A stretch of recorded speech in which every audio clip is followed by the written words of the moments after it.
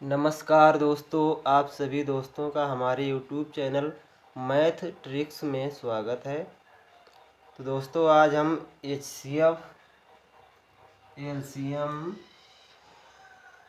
और H C F ज्ञात करना सीखेंगे।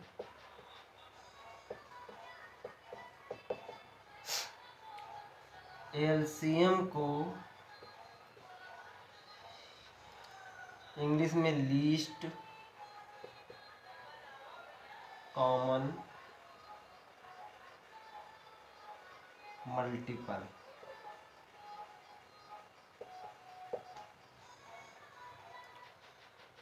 H C F को इंग्लिश में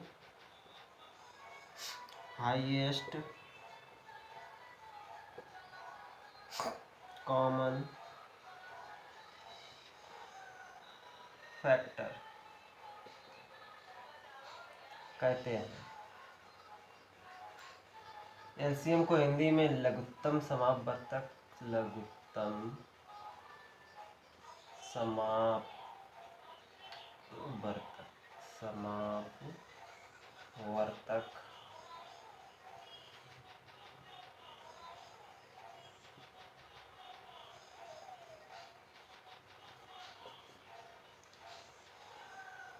एच सी एफ़ को महत्तम समापवर्तक महत्तम समापवर्तक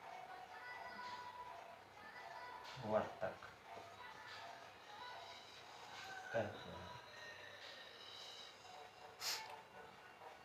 एलसीएम को इंग्लिश में लीस्ट कॉमन मल्टीपल, लघुत्तम समापवर्तक शॉर्टकट में लासा पा। लासा पा। और इसको एच को हाईएस्ट कॉमन फैक्टर महत्तम समापवर्तक या शॉर्टकट में मासा पा भी कहते हैं।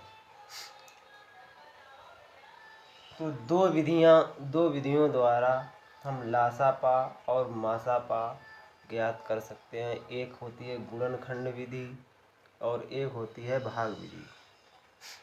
तो आज हम आपको भाग विधि से लासा और मासा ज्ञात करना सिखाएँगे। वीडियो को लास्ट तक ज़रूर देखें। यदि वीडियो पसंद आए तो लाइक करें, शेयर करें और चैनल को सब्सक्राइब करें। और हमारे चैनल को सब्सक्राइब कर लें, जिससे कि हमारा अगला वीडियो की नो नोटिफिकेशन आप तक पहुँचती रहे। जैसे कि बारह अठारह और बीस का हमें एलसीएम निकालना है। तो एक लाइन नीचे के लिए खींचेंगे और एक लाइन इधर के लिए खींचेंगे। अब जो सबसे छोटी आवाज़ संख्या होगी, जैसे कि दो, उसका हम इसमें भाग देंगे। इस नंबर में, इस नंबर में भी और इस नंबर में भी। तो दो का जब बारह में भाग देंगे तो दो का पहाड़ा पड़ेंगे। दो एकम, दो दो दूना चार, दो तिया छः, दो चौक आठ दो पंच दस, दो छंग, बारह जो छः आया, वो यहाँ लिख देंगे। इसके बाद दो का भाग देंगे अठारह में। तो दो का पहाड़ा पढ़ेंगे दो एकम, दो दो दूना चार, दो तिया छः, दो चाको आठ दो पंच दस, दो छंग, बारह, दो सत चौदह, दो सोलह दो नैम अठारह। अब दो का हम भाग देंगे बीस में। तो दो दो का पहाड़ा पढ़ेंगे दो एकम, दो दो दूना चार, दो तिया छः दो चाकू आठ, दो पंचे दस, दो छंग बारह, दो सत्य चौदह, दो आठ सोलह, दो नौ अठारह, दो दहामन बीस। आप फिर से एक नीचे लाइन खींच लेंगे। अब देखेंगे इसमें दो का भाग चला जाएगा। हाँ इसमें चला जाएगा, क्योंकि ये सम संख्या है, ये भी सम संख्या है, इसे ये विषम संख्या इसमें नहीं जाएगा। तो पहले दो का एक बार और भाग देंगे। दो का पाड़ा पड़ेंगे, दो एकम दो दो दूना चार, दो तिया छः यानी तीन यहाँ रख देंगे। नौ को ऐसे उतार लेंगे और दो का पाड़ा पड़ेंगे जो दस से ज़्यादा ना हो। दो एकम दो दो दूना चार, दो तिया छः दो चाकू आठ दो पंचे, दस।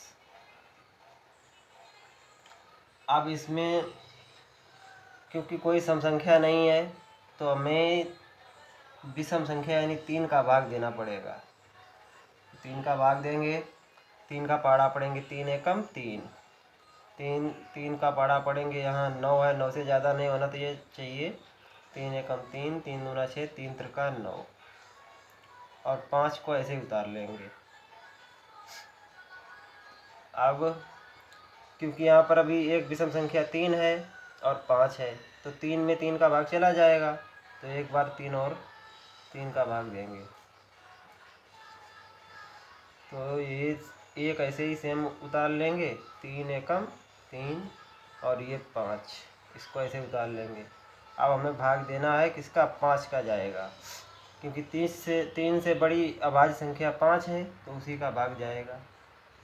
तो इसको एक को ऐसे उतार लेंगे, फिर एक को ऐसे उतार लेंगे और पाँच का इसमें भाग देंगे तो पाँच एकम, पाँच। अब इसका जो लाशा आएगा लासा जो लघुत्तम आएगा, वो आएगा, इनका हमें आपस में गुणा करना है। तो ये आएगा, लासा बराबर दो गुणे दो गुणे दो तीन। गुणे तीन, गुणे पाँच। हम इनका गुणा करेंगे तो आएगा दो दूना चार तिया बारह। या छत्तीस पंचे एक सौ बीस।